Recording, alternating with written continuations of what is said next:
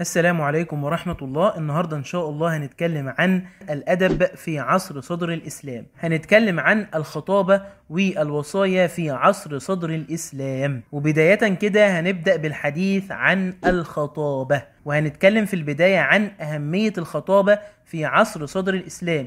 يعني قد إيه كانت الخطابة دي مهمة جدا في عصر صدر الإسلام. لأن الخطابة كانت سلاحا هاما من أسلحة الدعوة إلى الدين الجديد. الدعوة إلى الإسلام وخاصة أن الإسلام كان بمثابة ثورة شاملة على الحياة في كافة جوانبها يعني إيه؟ يعني الإسلام غير حياة العرب ككل الحياة الاجتماعية والسياسية وكذلك جوانب الحياة كلها اتغيرت بمجيء الإسلام لأن طبعا غير فيهم حاجات كتيرة والعادات طبعا الذميمة إلى عادات جيدة وعادات تصلح لنشر المحبة والسلام بين المجتمع ككل. وهو الأمر الذي ساعد على ازدهار الخطابة وتطورها. طبعا حاجة أنا بستخدمها كتير حاجتي ليها كتير فلازم طبعا تتطور وتزدهر وتنتشر بكثرة في هذا العصر. فكانت وسيلة من أهم الوسائل التي اتكأت عليها الدعوة الإسلامية في الإقناع والتأثير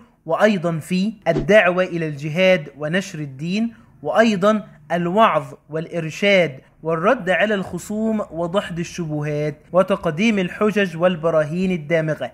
يبقى أنا كنت بستخدم الخطابة في كل تلك الأمور. في الإقناع والتأثير. أقنع الناس اللي موجودين في العصر ده بالإسلام وقد إيه الإسلام ده بيساوي بين الناس وكل عادات الإسلام وكل جوانب الإسلام الجيدة وبالتالي هأثر فيهم. وأيضا كانت تستخدم الخطابة في الدعوة إلى الجهاد الدعوة إلى الجهاد في سبيل الله ونشر الدين الإسلامي. وكمان الوعظ والإرشاد والهداية. إحنا أصلا دين الوعظ والإرشاد والهداية وكمان الرد على الخصوم وضحد الشبهات. يعني إيه ضحد الشبهات يعني القضاء على الشبهات وتقديم الحجج والبراهين الدامغة. يعني أقدم الحجج على الكلام اللي أنا بقوله حتى يتم الإقناع للمتلقي للمستمع. اللي أنا بكلمه يقتنع بكلامي لأن أنا بقدم له حجة يعني تثبت له صحة الكلام اللي أنا بقوله. إذا هي كانت وسيلة للدعوة للدين الحنيف وهي دي أهمية الخطبة. تتلخص أهمية الخطبة في كل تلك الأمور من إقناع وتأثير ودعوة إلى الجهاد ونشر الدين والوعظ والإرشاد والهداية وكل تلك الأمور فهي وسيلة للدعوة للدين الإسلامي الحنيف. فقد جعلها الرسول صلى الله عليه وسلم وسيلة للدعوة إلى مبادئ الدين الحنيف زي ما إحنا قلنا. ومن بعده جاء الخلفاء فاقتدى لأن إحنا طبعا قدوتنا هو الرسول صلى الله عليه وسلم فاقتدى الخلفاء من بعده بسنته. اقتدى الخلفاء بالرسول صلى الله عليه وسلم فوجدناهم يتناولون في خطبهم ما تناوله الرسول. يعني اقتدوا بالرسول صلى الله عليه وسلم وتحدثوا عن الموضوعات التي كان يتحدث عنها الرسول في خطبه. بل زادوا عليها زادوا على الجوانب التي كان يتحدث فيها الرسول واقتحموا بها ميادين جديدة. طيب الجوانب الجديدة دي هل هم اخترعوها؟ لا طبعا. الجوانب دي طبعا ظهرت نتيجة لتغير الظروف وتغير المناخ اللي الناس موجودين فيه. يبقى جوانب وميادين جديدة تتفق مع ظروف الحياة بعد وفاة الرسول. فقد جدت موضوعات سجلها تاريخنا الإسلامي. زي مثلا إيه؟ موضوعات مثلا زي الخلاف بين المهاجرين والأنصار ودي موضوعات كانت موجودة في البيئة اللي هم عايشين فيها. يعني الموضوعات دي ظهرت نتيجة لظروف البيئة نتيجة لظروف البيئة وظروف المجتمع. وأيضا اتساع الفتوحات الإسلامية. عندنا البلاد الإسلامية بقت كبيرة جدا وبقى عندنا فتوحات كتيرة وخصوصا في عهد عمر بن الخطاب وعثمان بن عفان.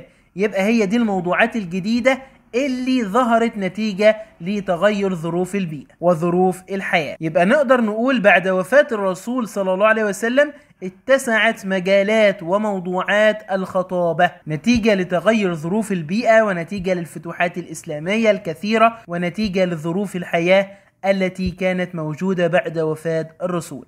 طيب خصائص الخطبة في صدر الإسلام خصائص الخطبة في عصر صدر الإسلام طبعا زي ما قلنا إحنا قلنا الأدب بصفة عامة يعكس العصر اللي هو موجود فيه. فإحنا بنتكلم دلوقتي في عصر صدر الإسلام. اذا أي فن من فنون النثر هيتأثر بالبيئة اللي هو موجود فيها اللي هو طبعا الإسلام. فعندي هنا الخطبة كانت تبدأ بالحمد والسلام. تبدأ الخطبة بالحمد والسلام. وتتسم الخطبة بسهولة الألفاظ حتى تكون مفهومة إلى المتلقي إلى المستمع. وأيضا تتسم بتنوع الأساليب حتى لا يمل قارئها أو سامعها. وكانت معانيها طبعا مستمدة من القرآن الكريم والحديث الشريف. لأن إحنا بنتكلم في عصر صدر الإسلام فلازم الخطابة تكون متأثرة بما فيه اللي هو القرآن الكريم والحديث الشريف. وأيضا تتسم وتتصف ومن خصائص الخطبة مواكبتها للأحداث وتطورها بتطور الأحداث وأيضا ترابط فكرها. فالفكر جيدة مرتبة ومترابطة. طيب بالنسبة لأنواع الخطبة كان عندنا خطب دينية وكمان خطب اجتماعية وكمان خطب سياسية. طبعا خطب دينية تشمل أحكام الدين وكل تلك الأمور. والخطب السياسية تشمل الحرب ودواعيه وكل ما يخص السياسة. أما الخطب الاجتماعية فتشمل جوانب الحياة الاجتماعية العادات والعلاقات بين أفراد المجتمع وعادات وتقاليد المجتمع وكل تلك الأمور. طيب بالنسبة للفن الثاني وهو فن الوصايا والوصية تشبه الخطبة تماما من حيث المقومات الفنية الكلامية وأيضا تشبه الخطبة في تأثرها بالقرآن الكريم. فتأثرت الوصية بأسلوب القرآن الكريم كما تأثرت الخطبة.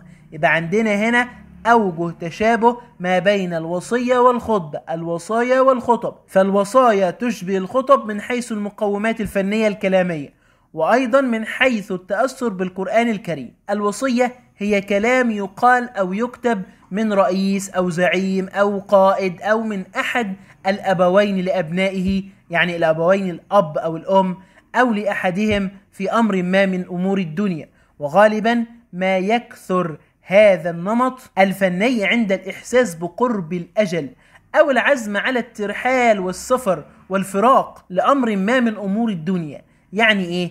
يعني الوصية دي بتكون من شخص زي مثلا زعيم أو قائد أو من أب أو أم أو من شخص كبير إلى صغيره أو من حاكم لشعبه يتحدث فيها في أمر من أمور الدنيا. وتكون الوصية دي تكثر عندما يعني يحس الإنسان بقرب أجله. فبالتالي يبدأ بقول وصيته إلى ابنه أو إلى شعبه أو إلى خليفته في أمر ما وهكذا. أو عند الفراق والترحال عند السفر يبدأ الإنسان أو يوصي الإنسان بفعل شيء معين. ولقد عرف العرب فن الوصية منذ العصر الجاهلي. يعني إحنا عندنا الوصايا دي موجودة منذ العصر الجاهلي وأيضا كانوا يتناولون فيها بعض من جوانب حياتهم الاجتماعية والدينية يعني تشمل الوصايا جوانب الحياة الدينية وكذلك الاجتماعية وهي فن قديم منذ العصر الجاهلي. طيب إحنا اتكلمنا عن أنواع الخطب. تعالوا نتكلم عن أنواع الوصايا. فالوصايا منها الوصايا الدينية وكذلك الوصايا السياسية وكذلك الوصايا الاجتماعية. يعني نفس أنواع الخطبة. دينية سياسية اجتماعية. طيب نسأل سؤال هنا. لماذا كثرت الوصايا على لسان الرسول وعلى لسان الخلفاء من بعده؟ ليه كانت كثيرة على لسان الرسول صلى الله عليه وسلم ومن بعده كانت كثيرة على لسان الخلفاء؟ وذلك لأن الرسول كان يستخدمها كثيرا. في شتى مجالات الحياة كالدين والسياسة والجهاد والتربية وأيضا اتبعه الخلفاء واستخدموها أيضا كثيرا. يعني الرسول كان يستخدم الوصية أيضا كثيرا في كل جوانب الحياة السياسية والاجتماعية والدينية وفي التربية والجهاد وكل تلك الأمور. وإقتدى الخلفاء بالرسول وأيضا استخدموها في شتى المجالات واستخدموها كثيرا. وأيضا هناك سبب آخر بسبب توسع الفتوحات في العهد الإسلامي بشكل كبير. يعني إحنا كان عندنا فتوحات كبيرة جدا كان عندنا تنقل كبير كان عندنا قرب أجل كبير كان عندنا فتوحات كثيرة جدا فبالتالي كثر استخدام الوصية. يبقى أيضا بسبب الفتوحات الكثيرة في العهد الإسلامي. وتعالوا كده أخيرا نفرق ما بين الخطبة والوصية. الخطبة تتكون من مقدمة وموضوع وخاتمة. هتقولي طيب ما كمان الوصية تتكون من مقدمة وموضوع وخاتمة. هقولك لا لا يلزم ذلك في الوصية. يعني إيه؟ يعني الخطبة لازم تكون مكونة من مقدمة ثم موضوع ثم خاتمة. أما الوصية فقد تكون وقد لا. يعني لا يلزم ذلك في الوصية ولكن يلزم في الخطبة. وأيضا الخطبة تقال في مواجهة الجمهور. يعني الخطبة الكلام الذي يقال إلى عامة الناس إلى جمهور كبير. أما الوصية فتوجه لفرد أو جماعة ولكن جماعة خاصة قولا أو كتابة وليس لها أجزاء كالخطبة. يبقى الخطبة قال في مواجهة الجمهور تقال الجمهور العام ككل. أما الوصية فهي حاجة خاصة شوية. تقال لفرد أو جماعة يعني جماعة صغيرة جماعة خاصة أو جمهور ولكن جمهور خاص. يعني مثلا حاكم لشعبه فهذا شعب الحاكم إذا ده جمهور خاص. يبقى نقدر نقول إن الخطبة عامة أما الوصية فهي خاصة. وكده بفضل الله نكون انتهينا من درس النهاردة. نراكم دائما على خير وإن شاء الله هنحل تمارين على الدرس ده.